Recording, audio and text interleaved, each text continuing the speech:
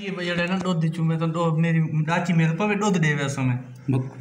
ਤੇ ਮੱਖਣ ਦੇ ਵੈਸਾ ਤੇ ਉਹ ਕੀ ਹੋਇਆ ਜਿਹੜਾ ਨਾ ਉਸ ਦੁੱਧ ਨਾ ਦਿੱਤਾ ਤੇ ਅੱਧਾ ਰੱਖ ਲਿਓ ਸੀ। ਮੱਖਣ ਰੱਖ ਲਈ ਉਹਦਾ ਰਿੜਕੋ ਸੀ ਮੱਖਣ ਤੇ ਪੱਥਰ ਬਣ ਗਿਆ। ਇਹ ਉਹ ਪੱਥਰ ਬਣ ਹੋਇਆ